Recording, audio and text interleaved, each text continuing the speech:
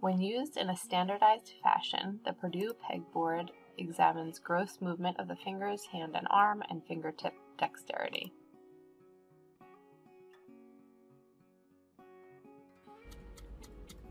The test involves a time assessment using first the right hand, then the left hand to place the pegs in the corresponding holes. The amount of pegs that are able to be completely placed in the holes in 30 seconds is the baseline for measurement of future exams. The test is first performed with the right hand, then the left hand, and then both hands at the same time. Assembly is evaluated by having the patient use both hands simultaneously while assembling the pins, washers, and collars.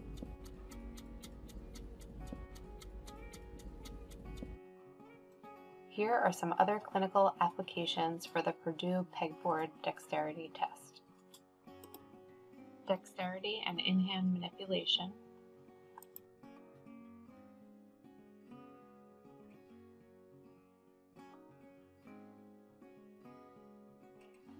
Opposition and composite flexion.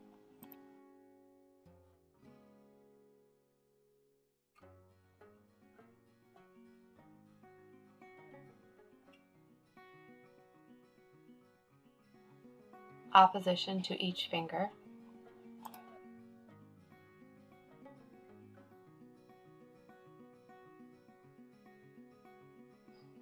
Simulation of functional activity using a tweezer.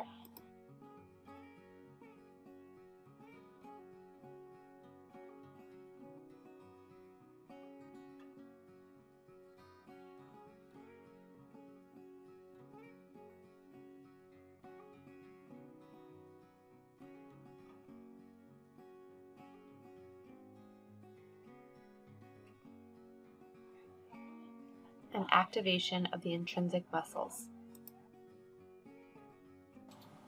I hope you found these activity ideas helpful.